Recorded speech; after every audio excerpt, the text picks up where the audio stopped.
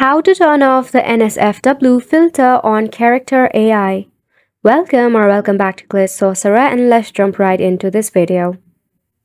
To start off, you have to launch a Character AI application that can be easily installed from your Play Store or App Store. Once you have installed it, make sure to log in or create an account of your Character AI. Unlike some of the application, in Character AI there is no option of NSFW filter. To turn it off, what you exactly have to do is you have to open up a chat where you want to turn off the NSFW filter. Let me show you. Just select the chat.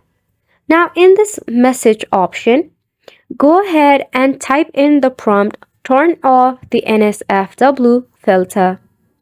Now once you have done typing in this, tap on the send arrow. Now after a while, your character will notify you that the NSFW filter has been turned off. And this is how you can turn off the NSFW filter on Character AI. Isn't it simple? If this feature is not available for your application, check for an update. In order to do so, you can check out your Play Store or App Store if you are using an iOS device. Search for Character AI in the search bar and tap on the application. If there is an update, just leave it for an update. If not, uninstall the application and reinstall it later. And that is all for this video as well. Thank you so much for tuning in.